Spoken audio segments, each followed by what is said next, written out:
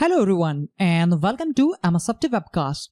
In the fifth part of this video series on how to migrate Active Directory infrastructure from Windows Server 2003 to Windows Server 2019, we are going to see how to migrate DHCP server from Server 2003 to Windows Server 2019. I hope you guys have already watched the first four parts of this video series. If you haven't watched them, then please watch those four videos first. This is our current scenario in that, in the last video, we have successfully transferred shared folders from Server 2003 to Server 2019. The only thing which is remaining is the DHCP server role.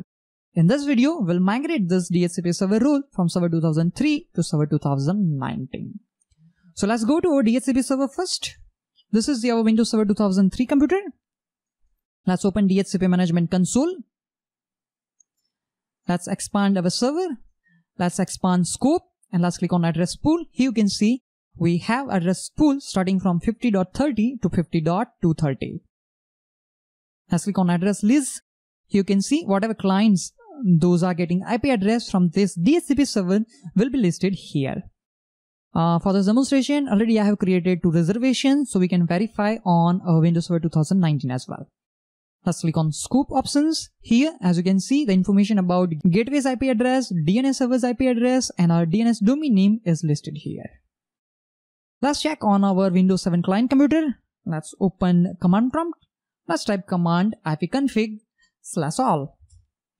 And here you can see this computer is getting IP address from DHCP server and the DHCP server's IP address is 192.168.50.5. That means this client is getting IP address from our Windows Server 2003 DHCP server.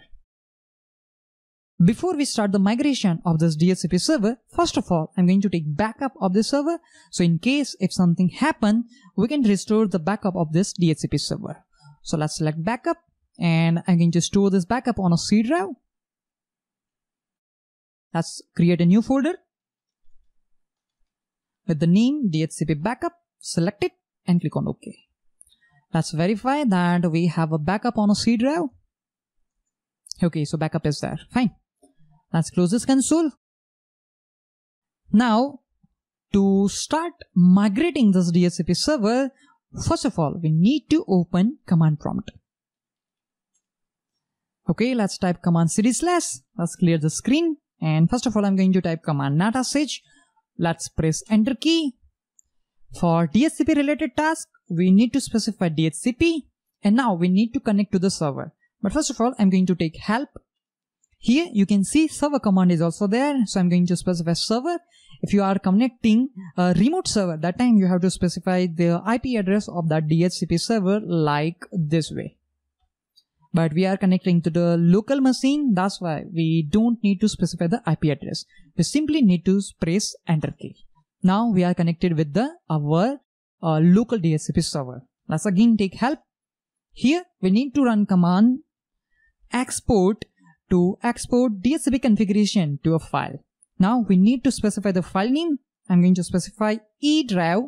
Then let's specify name 2K3 DHCP DB space I'm typing all because we are going to export all configuration settings into this file. Now let's press enter key. Okay then command completed successfully. Now on Windows Server 2019 computer, first of all we need to install DHCP server role. Then we need to run the same commands on that server. Instead of export command on that server, we need to use import command. Fine. So this will be the thing which we need to do on our Windows Server 2019 computer. Uh, I'm going to close this. Let's open my computer and let's check on E drive. Do we have file or not? As you can see, we have that file 2k3dhcpdb. We need to copy this file on our Server 2019 computer. So let's go to our Server 2019 computer. First of all, I'm going to install DHCP server role. Let's click on add roles and features. On before you begin screen, we have to click on next. Select role based or feature based installation. Click on next. Select the local server. In our case, it is ws2k19-fs01. Let's click on next. Here I'm going to select DHCP server and then let's select the checkbox. Click on add feature. Click on next, next again, next again, and click on install. Okay, as you can see, DHCP server rule has been installed successfully. Let's click on complete DHCP configuration to start DHCP post configuration wizard. Let's click on next. And already I have logged in as a domain admin, so we have a sufficient credential to register this DHCP server in Active Directory. Let's click on commit. Let's click on close and close again. So we have successfully installed DHCP server rule on this computer. After installing DHCP server rule on server 2019, the next thing which we need to do is to import that configuration file on this DHCP server. Now already I have copied that file from our server 2003 computer on a C drive. As you can see, that configuration file is there, 2k3 DHCP DB. Let's minimize it and I'm going to minimize the server manager dashboard as well. But before we import that configuration file, I want to stop the DHCP service on server 2003 computer. So let's right click here, all task and click on stop. And even if you want, you can uninstall that DHCP service from this computer as well. Let's go to server 2019 computer. Let's open the Windows PowerShell. cd slash. Let's clear the screen. Now here we need to run command netsh dhcp and here we are receiving message that in future version of Windows, Microsoft might remove the NetSH functionality for the DHCP server. Uh, in a newer version of Windows system, we have other PowerShell cmdlets to export and import DHCP server related configuration. But we are importing the configuration file from server 2003. That's why we are not able to use it. To connect local server, we need to specify server. Then after we need to press enter key. Fine, now we are connected with our local server. Now it's time to run command import and then after we need to specify the path of that configuration file. In our case, it is c colon 2k3 dhcp db. Let's verify the name. It is uh, 2k3 dhcp db. Fine, let's minimize it. And now I'm going to press enter key. Okay, command completed successfully. Let's open DHCP management console to verify the same thing. Let's click on tools. Let's click on DHCP management console. Let's expand it. Let's expand IP version 4. And here we go. Here we have a scope options. This is the scope which we have. And under scope, if we click on address pool, here we can see the same scope pool is there. Let's click on address list the same lease information is available here. If we expand reservation, then those both reservations are here. If we click on scope options, then the same scope options information is there. That means we have successfully migrated DHCP server role from server 2003 to server 2019. Let's close this. Let's close server manager console as well and let's close PowerShell as well. Now I'm going back on server 2003 computer.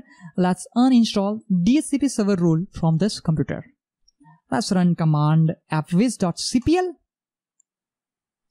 Click on add and remove Windows component. Find networking.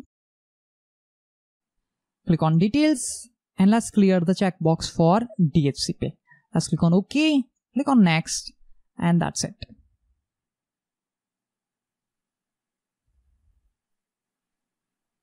Click on finish and done.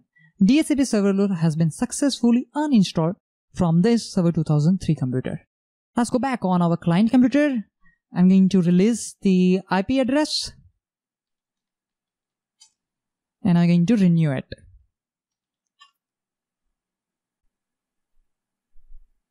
And as you can see, our client get IP address 192.168.50.30 but let's confirm the main thing. Let's run command ipconfig slash all. And here, the most important thing is that you can see DHCP server's address is 192.168.50.10. So that means now this client computer is getting IP address from our server 2019 DHCP server. So this is the way how we can migrate DHCP server from Windows Server 2003 to Windows Server 2019. That means we have successfully migrated DHCP server rule from server 2003 to server 2019. So in the next video, we will demote Windows Server 2003 domain controller from our existing Active Directory forest. That's it for this video demonstration. Thank you all for watching this video. If you have any questions and queries related to these videos and if you have any suggestion as well, feel free to post in comment section. Thank you all for watching this video.